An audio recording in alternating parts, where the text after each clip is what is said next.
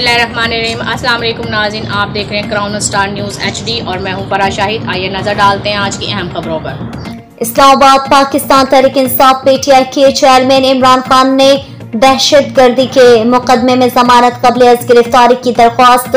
Islamabad high court में दायर कर दी।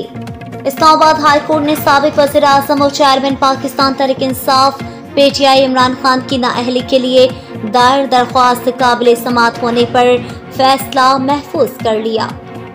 इस्लामाबाद वफाक के दारकूमत की पुलिस ने पाकिस्तान तहरीक इंसाफ पीटीआई के चेयरमैन और सबक वजी अजम इमरान खान से पुलिस सिक्योरिटी लेने के मुतालिक खबरों को झूठा और प्रोपेगेंडा करार दे दिया। कोयटा बलोचिस्तान में मानसून बारिशों से मजीद नौ अफराद जान से गए, जबकि सूबे हुकूमत तालीम ने हालिया बारिशों के बाद सूबे के तमाम तालीमी इदारों में एक हफ़्ते के लिए तातीलत का ऐलान कर दिया।